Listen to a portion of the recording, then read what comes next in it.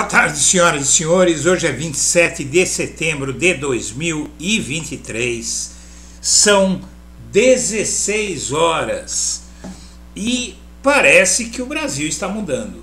Realmente é surpreendente a declaração que o presidente do Supremo Tribunal Militar, Joseli Camelo, um general da aeronáutica, deu ao programa Globo News. O presidente da Justiça Militar disse que não haverá anistia dos militares a militar golpista envolvido na tentativa de golpe do 8 de janeiro ou qualquer outro crime político ou comum que venha a ocorrer e na verdade isso é muito importante porque a justiça militar ela foi uma criação destinada a tornar os militares inimputáveis diante da lei na maioria dos casos.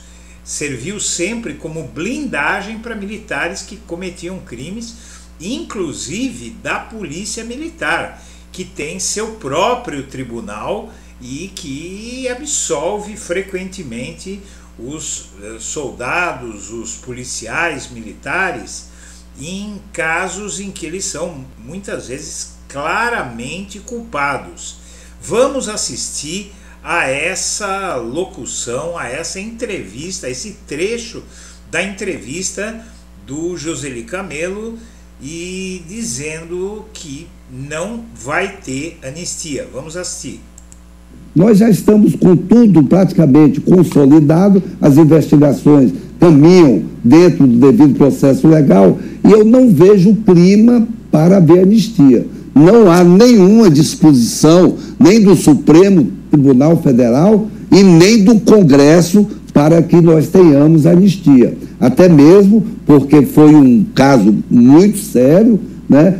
E se comprovado todos esses dados, eu tenho a impressão que teremos a condenação. Se não for comprovado, vamos ter a absolvição, mas a anistia, eu acho muito pouco provável que isso aconteça.